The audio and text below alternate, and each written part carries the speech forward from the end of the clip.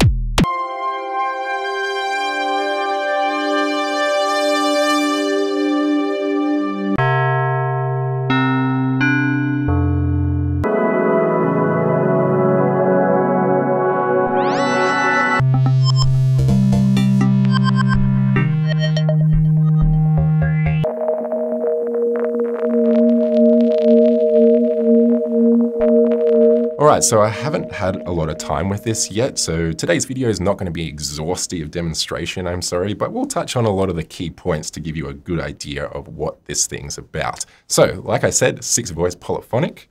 A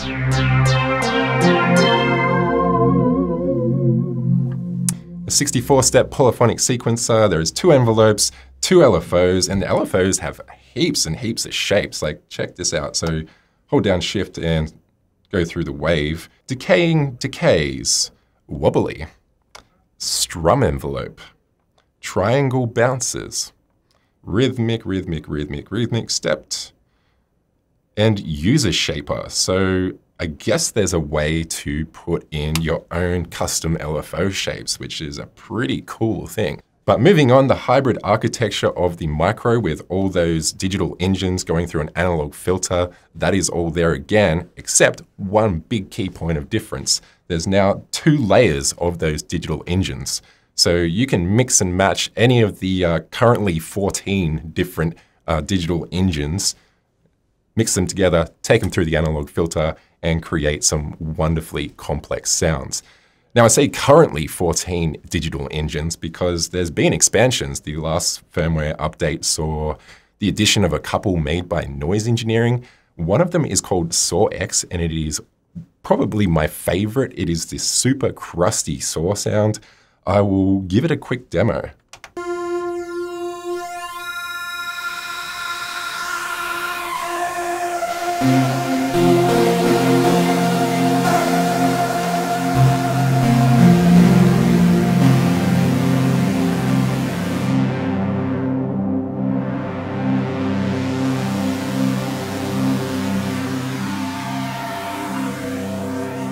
But let's move on. Let's check out the effects banks. So there's three effects banks now. We've got one, two, three.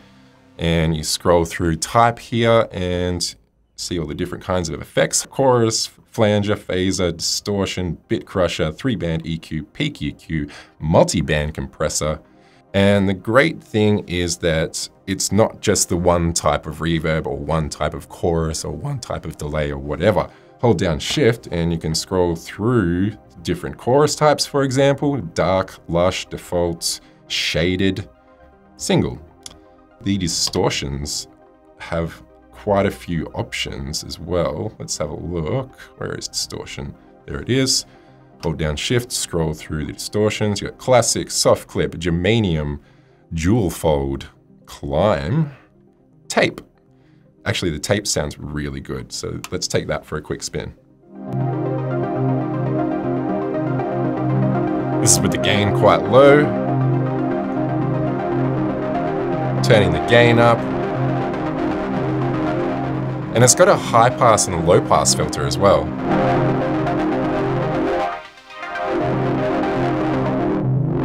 And I reckon we'll give the Bit Crusher a go as well because it is one of the best Bit Crushers I've heard in a hardware synth for sure. All right, there it is dry. Turning up Bit Crusher. Bit depth decimate.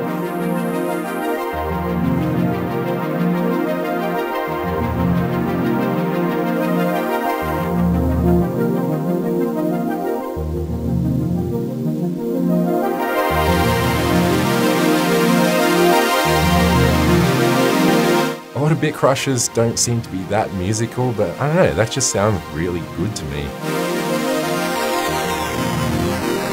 All right, let's move on and check out the sequencer. So 64 step sequencer, uh, maximum that is, and you've got four lanes of automation as well. So that's really fun. You can just uh, twiddle any of the knobs and record that movement into your sequence. Um, you've got easy access to each step along the bottom here. So go to sequence, hit play, you can see them scrolling along here. Easy access to pages of your sequence as well. So going through there. And of course, you can make your sequence however long you want, say five steps.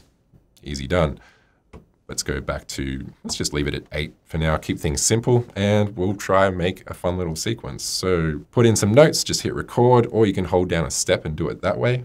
But let's just try it this way. Uh, ooh, I'm nervous.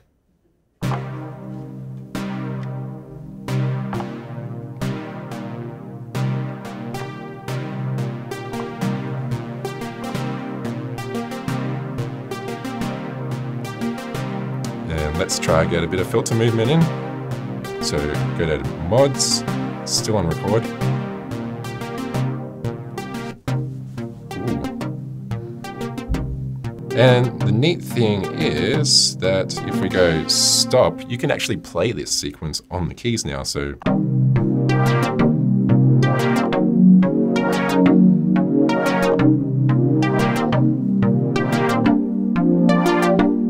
And uh, I literally just noticed this now, but this button here seems to change these sliders into uh, gate and spice. So let's give it a whirl.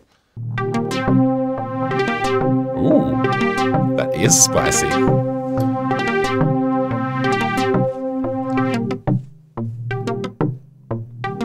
So I reckon we'll leave it there today. As you can probably tell, I haven't had a lot of time with this synth yet. It's just come in.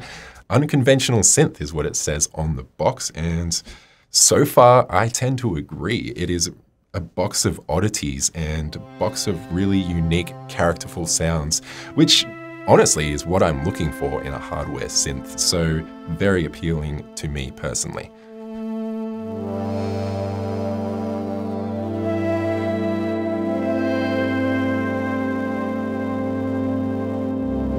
My name is Mike, this is Store DJ's YouTube channel. Feel free to pop into any of our stores around Australia. We'll have this on demo very soon. And uh, do me a favor and hit that subscribe button for me and I'll catch you next time.